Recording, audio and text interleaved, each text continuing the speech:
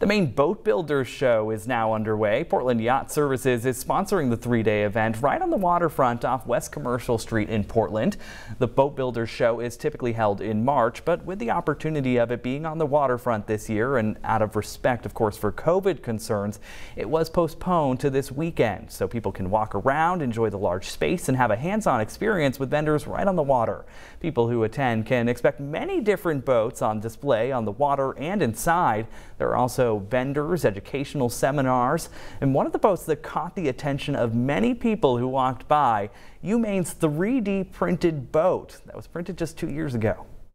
Yeah, the the boat has been it's been getting a lot of attention. I've talked to quite a few people. It seems like um, the majority of people that come by have kind of interest in checking it out.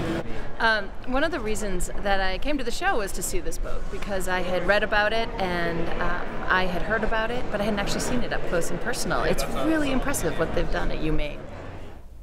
UMaine's Advanced Structures and Composite Center holds the world record for the largest 3D printer, and the boat it printed holds the world record for the largest 3D printed object. It weighs 5,000 pounds and was tested in a large water tank to make sure it functioned correctly.